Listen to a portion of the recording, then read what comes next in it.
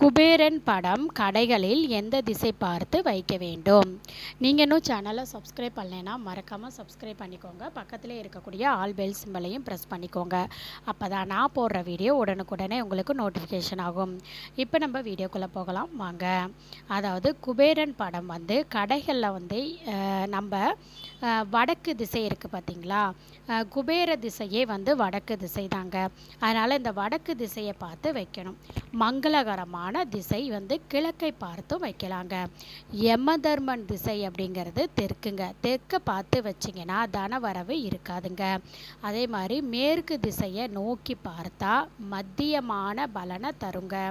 அதாவது நீங்கள் வந்து வைக்கக்கூடிய திசையை பொறுத்து உங்களுக்கு நன்மைகள் அப்படிங்கிறது ஏற்படுங்க.